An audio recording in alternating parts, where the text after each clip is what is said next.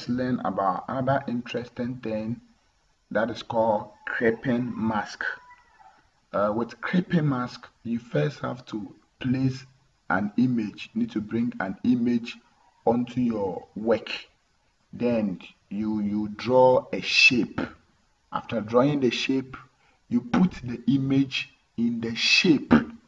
I've zoomed my work and you could see that the image has covered my paper so let me reduce the size of the image by holding on to the edge of the image then I reduce it. I've reduced the size of the image so that it won't cover my whole paper. And I need to add a shape to my picture. So I draw a shape.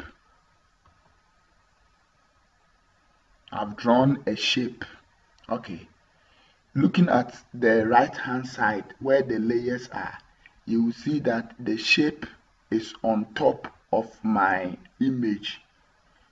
From the right hand side where the layers are the shape is on top of the picture. So let me take the picture on top of the shape. I've taught that that is the layer arrangement. So I move the picture. Then I drag it up on top of the shape. So now from the layer side that is the right hand side the picture is rather on top. Then the the shape is down.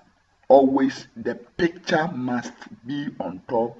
Then your shape should be down from the layer side the right hand side. Then you right click on the image.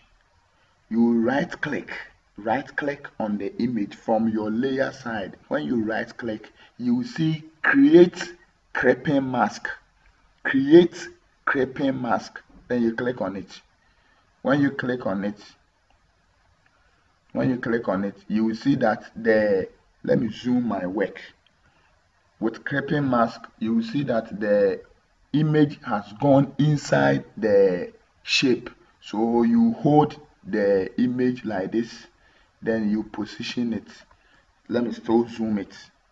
If you are working with this and you don't zoom your work there's no way you can have a perfect work. So now i'm positioning my image. With this i can still go ahead and hold on to the edges of the image. I've still i've zoomed my work again so i can see the edges. I can see the edges. So i hold on to the edge of the image then I position it nicely. So I'm still working on positioning the uh, the image.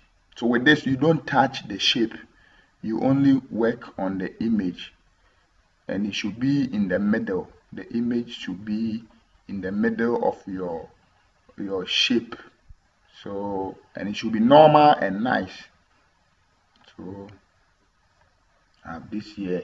Then I tick up here after this I can zoom my work back control minus so you can see something like this.